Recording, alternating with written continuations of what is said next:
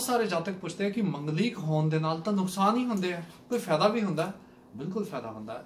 ਕਈ ਵਾਰੀ ਮੰਗਲੀਕ ਹੋਣਾ ਵੀ ਜਿਹੜਾ ਬਹੁਤ ਜ਼ਿਆਦਾ ਫਾਇਦੇਮੰਦ ਹੋ ਸਕਦਾ ਹੈ। ਸੋ ਐਸਾ ਕਦੀ ਨਹੀਂ ਹੈਗਾ ਕਿ ਮੰਗਲੀਕ ਹੋਣ ਦੇ ਨਾਲ ਹਮੇਸ਼ਾ ਨੁਕਸਾਨ ਹੀ ਹੁੰਦੇ ਆ। ਸੋ ਲਾਲ ਕਿਤਾਬ ਕੀ ਦੱਸਦੀ ਆ? ਅੱਜ ਤੁਹਾਨੂੰ ਦੱਸਣ ਜਾ ਰਹੇ ਆ ਪਹਿਲੀ ਗੱਲ ਕਿ ਮਿਥੁਨ ਲਗਨ ਜਿਨ੍ਹਾਂ ਦਾ ਹੁੰਦਾ, ਉਹਨਾਂ ਦਾ 8ਵੇਂ ਤੇ 12ਵੇਂ ਘਰ ਦਾ ਮੰਗਲ ਜਿਹੜਾ ਹਮੇਸ਼ਾ ਸ਼ੁਭ ਫਲਦਾਇਕ ਹੁੰਦਾ। ਕਰਕ ਲਗਨ ਵਾਲਿਆਂ ਦੇ ਲਈ ਮੰਗਲ ਜਿਹੜਾ ਹੈਗਾ ਉਹ ਹਮੇਸ਼ਾ ਹੀ ਲਾਭਕਾਰੀ ਤੇ ਸ਼ੁਭ ਨਤੀਜਿਆਂ ਵਾਲਾ ਹੁੰਦਾ ਜ਼ਿਆਦਾਤਰ ਸਾਬਤ ਹੁੰਦਾ ਲੇਕਿਨ ਨੀਚ ਦਾ ਨਾ ਹੋਵੇ ਯਾਨੀ ਕਿ ਲਗਨ 'ਚ ਬੈਠਾ। ਫਿਰ ਸਿੰਘ ਲਗਨ ਵਾਲਿਆਂ ਦੇ ਲਈ ਮੰਗਲੀਕ ਦੇ ਵਿੱਚ ਮੰਗਲ ਸਭ ਤੋਂ ਜ਼ਿਆਦਾ ਸ਼ੁਭ ਮੰਨਿਆ ਜਾਂਦਾ ਹੈ। ਇੱਥੇ ਮੰਗਲ ਸਭ ਤੋਂ ਜ਼ਿਆਦਾ ਸ਼ੁਭ ਇਸ ਲਈ ਹੁੰਦਾ ਕਿਉਂਕਿ ਉਹ ਲਗਨ ਜਾਂ ਚੌਥੇ ਘਰ ਦੇ ਵਿੱਚ ਹੋਣ ਦੇ ਨਾਲ ਜਾਤਕ ਨੂੰ ਅਹ, ਜਿੰਨੀਆਂ ਵੀ ਡੋਮੈਸਟਿਕ ਸੁੱਖ ਸੁਵਿਧਾਵਾਂ ਹੈਗੀਆਂ ਉਹ ਦਿੰਦਾ ਤੇ 8ਵੇਂ ਤੇ 12ਵੇਂ ਘਰ ਦਾ ਜਾਤਕ ਜੇ ਹੋਵੇ ਤਾਂ ਮੰਗਲ ਜਿਹੜਾ ਜਾਤਕ ਦੇ ਲਈ ਮਾੜਾ ਸਾਬਤ ਹੋ ਜਾਂਦਾ ਐਸੀ ਹਾਲਤ ਦੇ ਵਿੱਚ। ਕੰਨਿਆ ਲਗਨ ਵਾਲਿਆਂ ਦੇ ਲਈ ਮੰਗਲ ਜਿਹੜਾ 8ਵੇਂ ਜਾਂ 12ਵੇਂ ਘਰ ਦੇ ਵਿੱਚ ਸ਼ੁਭ ਹੁੰਦਾ ਹੈ। ਸੋ ਮੰਗਲ ਜਿਹੜਾ ਹੈ ਜਾਤਕ ਨੂੰ ਹਰ ਜਗ੍ਹਾ ਜਿਤਾਉਂਦਾ ਹੈ, ਉਹਨੂੰ ਉਮਰ ਦਿੰਦਾ ਹੈ। ਤੇ ਲੇਕਿਨ ਚੌਥੇ ਤੇ ਸੱਤਵੇਂ ਘਰ ਦਾ ਜਦੋਂ ਵੀ ਮੰਗਲ ਹੁੰਦਾ, ਉਹ ਕੰਨਿਆ ਲਗਨ ਵਾਲਿਆਂ ਦੇ ਲਈ ਬਹੁਤ ਜ਼ਿਆਦਾ ਦੁੱਖ ਦਰਦ ਤਕਲੀਫਾਂ ਦਿੰਦਾ ਹੈ। ਤੁਲਾ ਲਗਨ ਵਾਲਿਆਂ ਦੇ ਲਈ ਮੰਗਲ ਜਿਹੜਾ ਹੈ ਅਹ ਖਾਨਾ ਨੰਬਰ 1 ਤੇ 7 ਦੇ ਲਈ ਬਹੁਤ ਜ਼ਿਆਦਾ ਸ਼ੁਭ ਹੁੰਦਾ ਹੈ, ਯਾਨੀ ਕਿ ਪਹਿਲੇ ਤੇ 7ਵੇਂ ਘਰ ਦੇ ਲਈ। ਤੇ ਜਾਤਕ ਨੂੰ ਬਹੁਤ ਤਰ੍ਹਾਂ ਦੀਆਂ ਸੁੱਖ ਸੁਵਿਧਾਵਾਂ ਦਿੰਦਾ, ਲੇਕਿਨ ਮੰਗਲ ਜੇ 12ਵੇਂ ਘਰ ਦੇ ਵਿੱਚ ਹੋਵੇ ਤਾਂ ਜਾਤਕ ਨੂੰ ਸਾਰੇ ਸੁੱਖ ਸੁਵਿਧਾਵਾਂ ਉਹਦੀਆਂ ਖਤਮ ਕਰ ਦਿੰਦਾ ਵਰਿਸ਼ਚਿਕ ਲਗਨ ਦਾ ਮੰਗਲ ਜੇ ਪਹਿਲੇ ਘਰ ਜਾਂ 7ਵੇਂ ਘਰ ਦੇ ਵਿੱਚ ਹੋਵੇ ਤਾਂ ਜਾਤਕ ਨੂੰ ਕਦੀ ਘਾਟਾ ਨਹੀਂ ਹੋਣ ਦਿੰਦਾ ਉਹਨੂੰ ਕਦੀ ਕੋਈ ਡਰ ਨਹੀਂ ਹੋਣ ਦਿੰਦਾ। ਤੇ ਜੇ ਮੰਗਲ 8ਵੇਂ ਜਾਂ 12ਵੇਂ ਘਰ ਦੇ ਵਿੱਚ ਹੋਵੇ ਤਾਂ ਜਾਤਕ ਨੂੰ ਬਹੁਤ ਕੇਅਰਫੁਲ ਰਹਿਣਾ ਚਾਹੀਦਾ ਸੋ ਇੱਥੇ ਮੰਗਲ ਕੁਝ ਵੀ ਮਾੜਾ ਕਰ ਸਕਦਾ ਹੈ। ਕੁੰਭ ਲਗਨ ਵਾਲਿਆਂ ਦੇ ਲਈ ਜੇ ਮੰਗਲ 12ਵੇਂ ਘਰ ਦੇ ਵਿੱਚ ਹੋਵੇ ਤਾਂ ਉਹਨੂੰ ਬਹੁਤ ਜ਼ਿਆਦਾ ਸ਼ੁਭ ਫਲ ਦਿੰਦਾ ਹੈ। ਸੋ ਮੰਗਲ ਅਹ, ਜਿਹੜਾ ਹੈ ਮੀਨ ਲਗਨ ਦਾ ਉਹ ਜਦੋਂ ਵੀ ਕੁੰਡਲੀ ਦੇ ਪਹਿਲੇ ਜਾਂ ਚੌਥੇ ਜਾਂ ਸੱਤਵੇਂ ਘਰ ਦੇ ਵਿੱਚ ਹੋਵੇ ਤਾਂ ਕਦੀ ਵੀ ਨੁਕਸਾਨ ਨਹੀਂ ਦਿੰਦਾ। ਲੇਕਿਨ ਮੀਨ ਲਗਨ ਦਾ ਮੰਗਲ ਜਦੋਂ 8ਵੇਂ ਤੇ 12ਵੇਂ ਘਰ ਦੇ ਵਿੱਚ ਹੋਵੇ ਤਾਂ ਕਸ਼ਟਦਾਇਕ ਹੁੰਦਾ ਹੈ।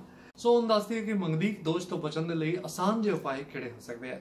ਪਿਆਰੇ ਦਰਸ਼ਕੋ ਜੇ ਮੰਗਲ ਵਕਰੀ ਹੋਵੇ ਜਾਂ ਨੀਚ ਹੋਵੇ ਜਾਂ ਅਸਤ ਹੋਵੇ ਤਾਂ ਮੰਗਲੀਕ ਦੋਸ਼ ਆਮ ਤੌਰ ਤੇ ਮੰਨਿਆ ਨਹੀਂ ਜਾਂਦਾ। ਜੇ ਵਾਰੀਆਂ ਕੰਨਿਆਂ ਦੇ ਰਾਸ਼ੀ ਫਲ ਜਾਂ ਫਿਰ ਜਿਹੜਾ ਹੈ ਅਹ, ਅੰਸ਼ਾਧੀਪਤੀ ਉਹਨਾਂ ਦੇ ਵਿੱਚ ਮਿੱਤਰਤਾ ਹੋਵੇ ਤਾਂ ਮੰਗਲੀਕ ਦੋਸ਼ ਨਹੀਂ ਮੰਨਿਆ ਜਾਂਦਾ। 30 ਗੁਣਾ ਤੋਂ ਜ਼ਿਆਦਾ ਦੇ, ਜਦੋਂ ਕੁੰਡਲੀ ਦੇ ਗੁਣ ਮਿਲਦੇ ਆ, ਤਾਂ ਮੰਗਲੀਕ ਦੋਸ਼ ਅਸਰ ਨਹੀਂ ਕਰਦਾ। ਜੇ ਨਾੜੀ ਦੋਸ਼ ਹੋਵੇ, ਲੇਕਿਨ ਜਿਹੜਾ ਹੈ, ਵਰ ਤੇ ਕੰਨਿਆ ਦੇ ਰਾਸ਼ੀ ਦੇ ਸਵਾਮੀ ਜਿਹੜੇ ਇੱਕ ਹੋਣ, ਤਦ ਵੀ ਉਹ ਸ਼ਾਦੀ ਸ਼ੁਭ ਮੰਨੀ ਜਾਂਦੀ ਹੈ। ਜੇ ਕੰਨਿਆ ਦੀ ਕੁੰਡਲੀ ਦੇ ਵਿੱਚ, ਜਿਸ ਖਾਨੇ ਦੇ ਵਿੱਚ ਮੰਗਲ ਹੋਵੇ, ਵਰ ਦੀ ਕੁੰਡਲੀ ਦੇ ਵਿੱਚ ਉਸੇ ਹੀ ਖਾਨੇ ਦੇ ਵਿੱਚ ਕੋਈ ਅਸਰਦਾਰ ਗ੍ਰਹਿ ਹੋਵੇ ਜਾਂ ਸ਼ਨੀ ਹੋਵੇ, ਤਾਂ ਮੰਗਲਿਕ ਦੋਸ਼ ਨਹੀਂ ਮੰਨਿਆ ਜਾਂਦਾ।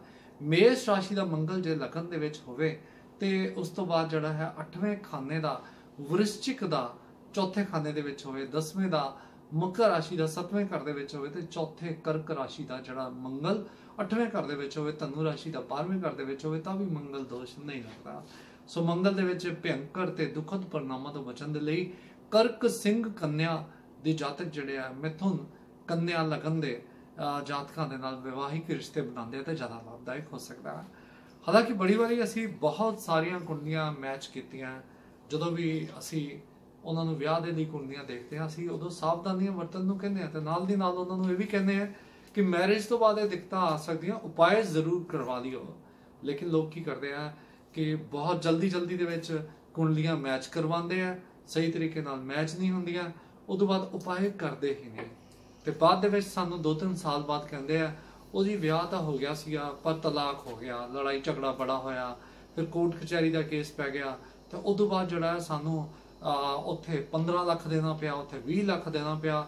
ਪਿਆਰੇ ਦਰਸ਼ਕੋ, ਇੱਥੇ ਤਾਂ ਤੁਹਾਡੇ 15-20 ਹਜ਼ਾਰ ਵੀ ਨਹੀਂ ਲੱਗਣੇ, ਉਹ ਵੀ ਸਾਲ ਦੇ। 3-4 ਹਜ਼ਾਰ ਦੇ ਵਿੱਚ ਤੁਹਾਡੀਆਂ ਸਾਰੀਆਂ ਰੈਮੇਡੀਜ਼ ਹੋ ਜਾਂਦੀਆਂ। ਇਸ ਲਈ ਕਿਉਂ ਐਡੀਆਂ ਐਡੀਆਂ ਵੱਡੀਆਂ ਵਿਪਤਾ ਪਾਉਂਦੇ ਹੋ?